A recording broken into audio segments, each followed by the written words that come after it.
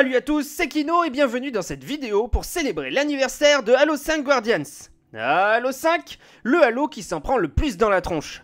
Et je dois vous avouer que c'est le Halo que j'aime le moins. Malgré tout, je trouve qu'il est victime d'une assez grosse mauvaise foi dans la plupart de ses critiques. Quoi qu'il en soit, aujourd'hui, nous ne sommes pas là pour énumérer ses problèmes. Je vous promets de revenir un beau matin avec un zoom centré sur l'histoire pour mettre le doigt sur un ou deux problèmes qui pourraient tout changer. Nous sommes ensemble aujourd'hui pour fêter les 5 ans du titre. 5 ans qu'il a passé à être l'ultime Halo sorti. Une lourde tâche Je vous propose donc de voir les 5 points qui m'ont le plus marqué sur cet opus.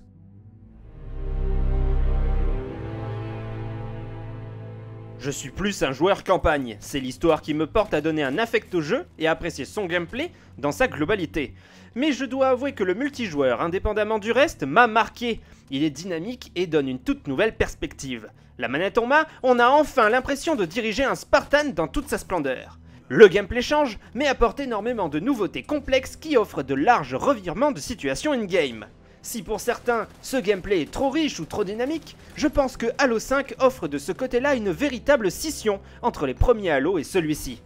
La guerre entre deux Halo pour comparer son multijoueur n'a jamais autant porté son sens. Halo 3, le meilleur ou vieillissant? Halo 5, trop dynamique ou le parfait équilibre? Cette question, c'est à chaque joueur individuel d'y répondre. Personne n'a raison, personne n'a tort.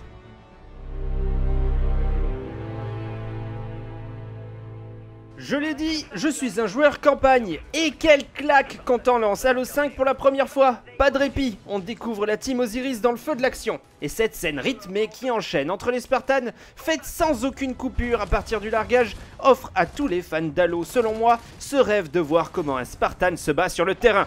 À défaut de n'avoir aujourd'hui aucun véritable film ou série pouvant illustrer les différentes actions de nos super soldats préférés, cette cinématique époustouflante fait le taf.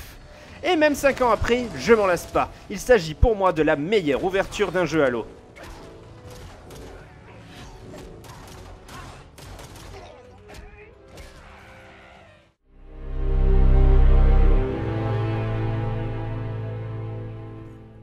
On va rester encore un peu dans la campagne et parler des élites et de leur monde natal. Nombreux sont les fans de cette race iconique de l'univers Halo. Nos alliés dans Halo 3, aujourd'hui nous découvrons enfin leur monde et nous nous battons à nouveau à leur côté. Retour de l'arbitraire par la même occasion. Les quelques missions que nous passons sur Sun Galios est un message d'amour aux fans. C'est vraiment comme ça que je le vois.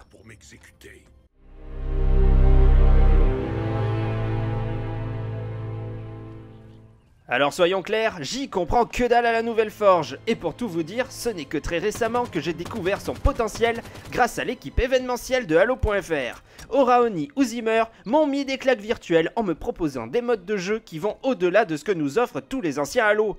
On a sur certains modes la véritable impression d'avoir un autre jeu à part entière. La forge est infinie, je ne comprends toujours pas comment cela fonctionne, mais à chaque map que ces deux-là me sortent, je retrouve mon âme d'enfant et j'en oublie l'objectif, tellement je suis bluffé par la puissance du jeu et l'imagination de certains fans.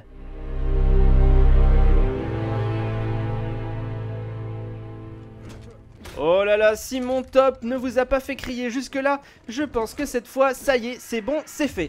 Petit rappel, je n'aime pas John, même si 343 a pour moi élevé le personnage, ce n'est qu'un être sans âme qui avance là où on lui dit d'avancer. Je ne me sens pas lui en le jouant, j'ai juste la sensation de jouer une coquille vide remplie de muscles. Locke arrive, détesté par beaucoup parce qu'il pourchasse Chief, moi je lui vois bien d'autres aspects de droiture. Il a une mission, l'exécutera, mais prendra aussi en compte les choses qui sont autour de lui. Il ne laissera personne de côté. Oui, Locke est un soldat, un militaire à l'aspect rigide, mais j'espère sincèrement le revoir pour poursuivre son évolution. Il y a beaucoup de choses à dire sur lui, et je pourrais me laisser tenter par un zoom sur son personnage. Et voilà, ce top 5 est terminé. J'espère que je ne vous ai pas trop choqué avec mes goûts. Je préfère prévenir, pas de violence dans les commentaires tous les goûts sont dans la nature, je n'ai parlé ici que de 5 points que j'apprécie sincèrement sur Halo 5. Mais je pourrais faire la même chose avec des points que je n'aime pas. Je pourrais faire ça sur chaque Halo, même mes préférés. Pas de violence, s'il vous plaît. On se retrouve très vite pour une toute nouvelle vidéo. Salut à tous, vive Halo